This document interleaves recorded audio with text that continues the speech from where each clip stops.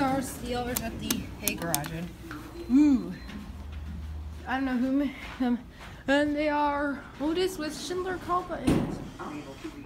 Please try a. These are well or if there are more elevators if you can see them. A and to the right. Right there. And they are not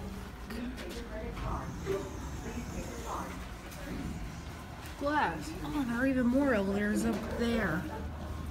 Which we are. This one.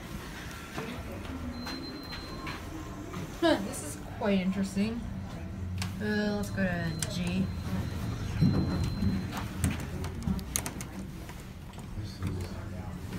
Huh, nice indicator. This is Northwestern Medical Downtown Campus, a garage. Huh, G is burned now. Do first indicator. Let's go to 10. Louis Armstrong.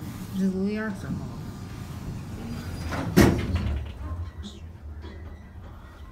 I said that! Northwestern University Medical Hospital. Huh, what, what just happened? Indicator's a bit delayed. The elevator fart. Ed, the elevator likes to fart. Uh, what floor should I send this to? Ground. Hmm. It's a nice, hmm, it's a nice day today. You can see them. Um, eh. Must be owned by the same company that has the random things parking garage. As this elevator, ha- as this parking garage is the musician's garage. Louis Armstrong. Louis. Louis, Louis. He didn't sing that song, Mike. Uh, Louis Armstrong, you- you know. Oh, you sound better than him. No, I don't.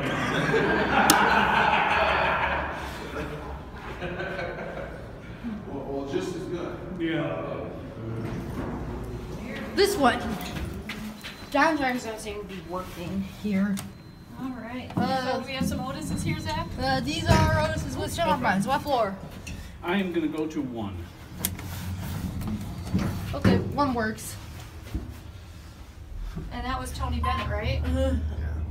He's interested in becoming an elevator engineer. Really? So he has his own YouTube channel and he videos on elevators. Needs to go to Sears Tower. Yes, yes. uh, and maybe gets